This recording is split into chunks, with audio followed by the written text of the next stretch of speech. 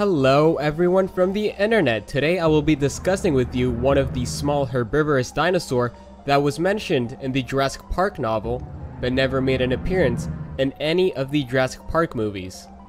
This dinosaur is known as a Hypsilophodon. Without making you guys wait furthermore, let's get right into it. Firstly, let's do a historical background check on the Hypsilophodon.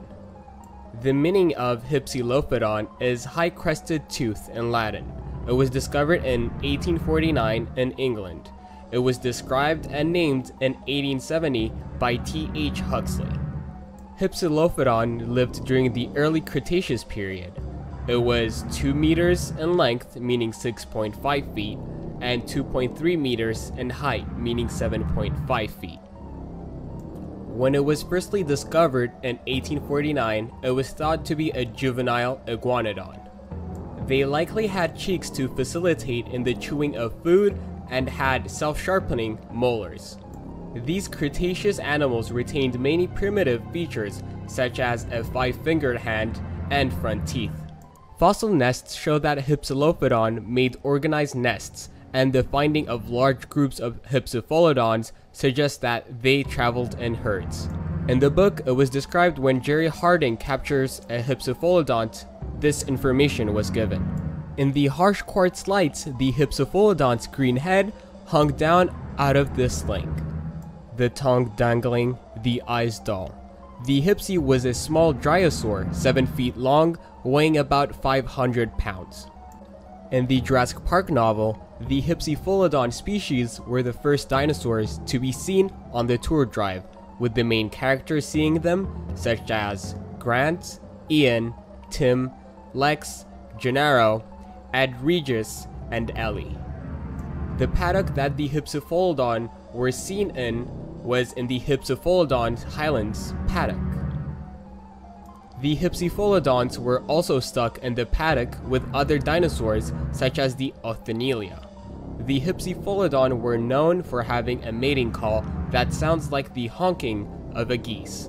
Furthermore, these animals were also described as not especially bright animals in the novel, its intelligence being roughly the intelligence of a domestic cow. These dinosaurs were seen scratching themselves a lot because they had a skin problem that the scientists and the vets in the park assumed it was either caused by a fungus or an allergy. However, nobody knew the true origin of the irritated skin. In the novel, after the park broke down and the animals were loose and rampaging in the park, Dr. Jerry Harding, that you may also know from Jurassic Park the game or from the movie, Jerry Harding was this person. Jerry Harding tranquilized the Hypsipholodon and placed it on a truck for transport. Harding measured this dinosaur temperature at 96.2 degrees Fahrenheit, claiming that it dropped by a degree and a half, meaning the normal body temperature of the Hypsipholodon was 97.7 degrees. This dinosaur was also described by Harding that it moved like a kangaroo when running, meaning it jumped to go from point A to point B. Being one of the dinosaurs that had amphibian DNA or frog DNA fragments, the Hypsipholodon were confirmed to have bred with an expected population of 33, an actual population of 34, and an equilibrium population of 14. They were expected to be version 2.9, but due to the breeding, it was impossible for the computer to accurately assign a version number. This is going to be it for my video. If you have read the Jurassic Park novel book, please let me know down in the comments if you have enjoyed reading about the Hypsipholodon or if you think this dinosaur was a useless addition in Jurassic Park, especially being the first dinosaur to be seen on the tour. Either way, thank you for watching my video, and I'll see you next time.